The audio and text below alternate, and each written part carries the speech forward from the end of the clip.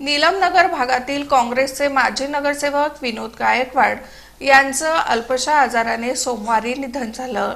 नीलमनगर मध्यवर्ती गणेशोत्सव मंडळाचे संस्थापक नवदुर्गा देवस्थानचे प्रमुख काँग्रेसचे माजी नगरसेवक विनोद पुरुषोत्तम गायकवाड यांचं सोमवारी पहाटे साडेपाच वाजता मार्कंडे सोलापूर रुग्णालय इथं अल्पशा आजारानं निधन झालं.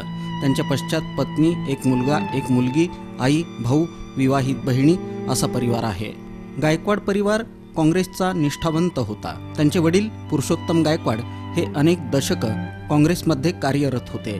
त्यांच्यानंतर विनोद गायकवाड हे आपल्या वडिलांच्या पावलावर पाऊल ठेवत दोन हजार बारा साली नीलमनगर भागातून नगरसेवक झाले. या भागात त्यांनी अनेक विकास कामं केली. त्यांच्या निधनानं सर्वत्र हळहळ व्यक्त होत आहे.